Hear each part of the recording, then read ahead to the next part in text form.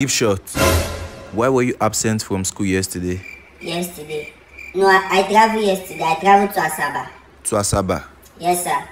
But Samuel saw you yesterday. Samuel saw me yesterday. Yes. Maybe Samuel came to Asaba. He did not know that he's in Asaba. Will you keep short? Sorry, sir. Be careful. I taught you about investment. Yes, sir. So if you are given 1 million naira, what will you invest on? If they give me one million, what will I invest on? Yes. I will buy suya. What? I will buy suya one million. Chibuike, this shows you are not a wise investor.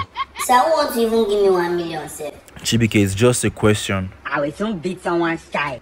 Now back to studies. Chibuike, pronounce this word. So I'll start again now. My friend, pronounce the word.